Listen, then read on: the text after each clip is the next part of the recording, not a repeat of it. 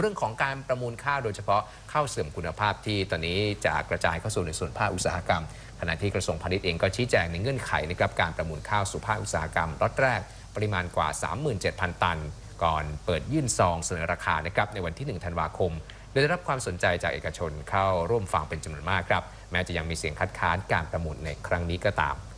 โดยสมาคมผู้ประกอบการธุรกิจตรวจสอบสินค้าเกษตรไทย หรือว่า Surveyor พร้อมด้วยบริษัทตรวจสอบคุณภาพข้าวครับ เข้ายื่นหนังสือคัดค้านการประมูลข้าว เสียสู่ภาคอุตสาหกรรมที่กรมการค้าต่างประเทศกระทรวงพาณิชย์ โดยขอให้มีการชะลอออกไปก่อนครับเพื่อตรวจสอบคุณภาพข้าวให้แน่ชัดว่าเป็นข้าวเสียจริง เพราะว่าหากขายข้าวเข้าสู่ภาคอุตสาหกรรมแล้ว จะทำให้ภาครัฐนั้นเกิดความเสียหายได้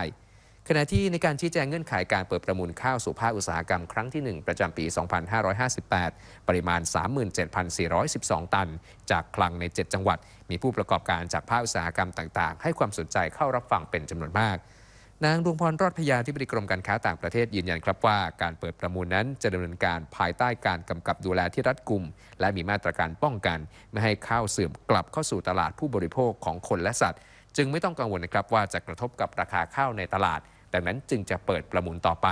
โดยจะเปิดให้ยื่นซองเอกสารคุณสมบัติในวันที่ 30 พฤศจิกายน ก่อนที่จะประกาศรายชื่อ ผู้มีคุณสมบัติครบในวันที่ 1 ธันวาคม และก็เปิดให้ยื่นซองเสนอราคาได้ทันทีในวันเดียวกัน